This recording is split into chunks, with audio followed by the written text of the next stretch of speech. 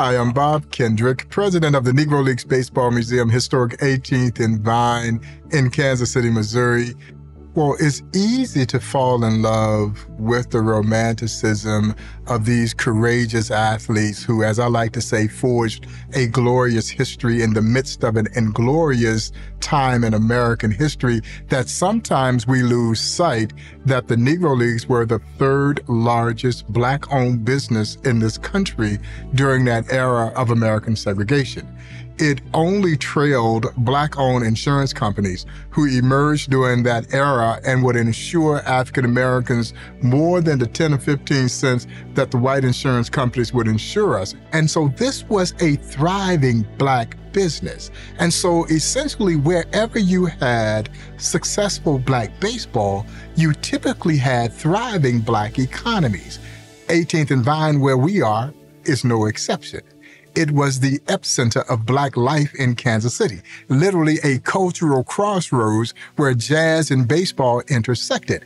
But because of the great popularity of the Kansas City Monarchs, and to put it in perspective, we tell the story oftentimes about opening day here for Kansas City, for the Kansas City Monarchs.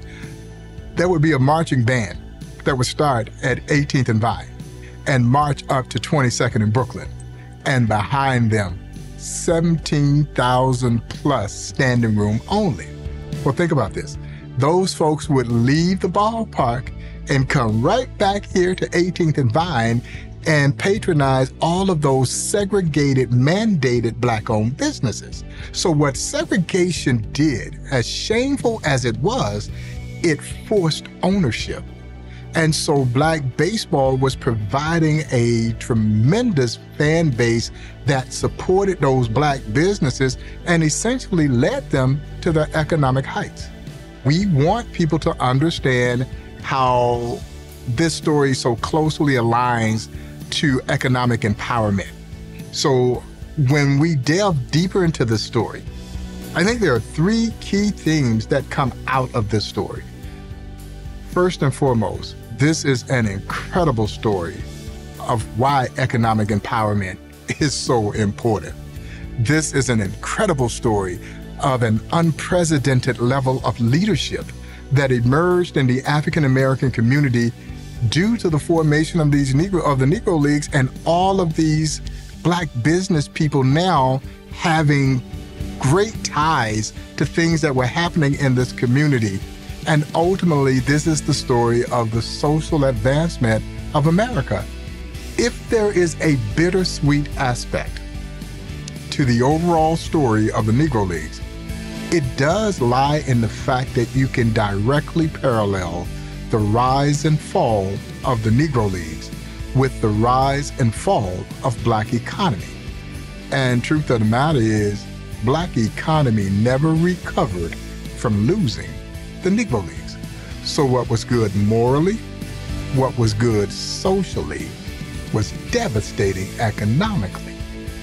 But this was good for the soul of our country, and it moved us in ways socially that I don't think we ever dreamt possible. But it did come at a cost.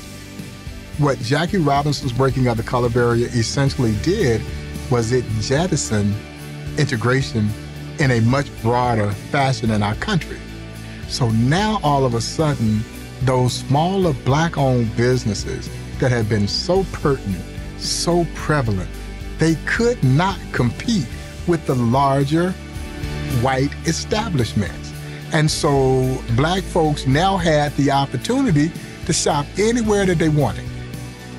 Thanks to the leadership of, of Buck O'Neil, who said, This is where we will build this museum. And in doing so, we will turn the fortunes of 18th and Vine. That was in 1990. Here we are now, over three decades later, recognized as America's national Negro Leagues Baseball Museum. But just as important, people are living, working, and playing at 18th and Vine again. So, in essence, the Negro Leagues Baseball Museum has done for this community what black baseball had traditionally done for African American communities across this country. We felt like we had an inherent, both historical and civic responsibility to do that. And honestly, we haven't looked back since. I think, again, one of the things lost is the business side of black baseball. The black owners don't get nearly enough credit for what they were doing to finance these teams. The ball players were making a decent living playing the game that they love. The Great Depression took its toll on the Negro Leagues as well. And there was a period of time now the Kansas City Monarchs, which were one of the great barnstorming teams. And for those who might be hearing that term for the first time, barnstorming in this case meant that they were taking baseball to parts of the country and other parts of the globe where they may not have seen that brand of professional baseball. The Monarchs were a great barnstorming team, but the Negro Leagues by and large were hurt during the Great Depression and, and, and really shut down just as much of society did. And, and so again, the barnstorming aspect was a way in which J.O. Wilkinson, who owned the Monarchs, could keep his team afloat.